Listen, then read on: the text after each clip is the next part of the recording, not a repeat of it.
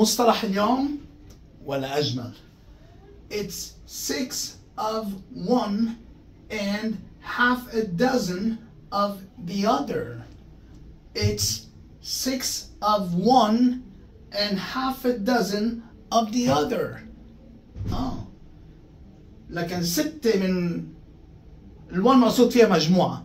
ستة من هالمجموعة ونص دزينة من هالمجموعة. ما الستة هن نص دزينة. آه so it's six of one and half a dozen of the other.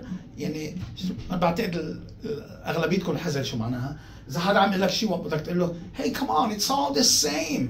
ما كلها نفس الشيء هيدي بدل ما نضل نقول it's all the same and it's all the same thing but جملة كتير حلوة. عم تقول له ما ستة من مجموعة ونص دزينة من المجموعة الثانية ستة ولا نص دزينة. إلا إذا بالحساب نحن ضعاف بعد مشكلة. لأنه نص الدزينة الدزينة هي 12 12 half الدزن هو 6 أوكي بقى كثير حلو استعمله. بتمنى أكيد بنعيده بنحفظه بنستعمله it's 6 of بس انتبهوا على اللفظ. It's 6 of of. آه it's 6 of one 6 of هيدي the مش of one. It's 6 of one and half a dozen of of.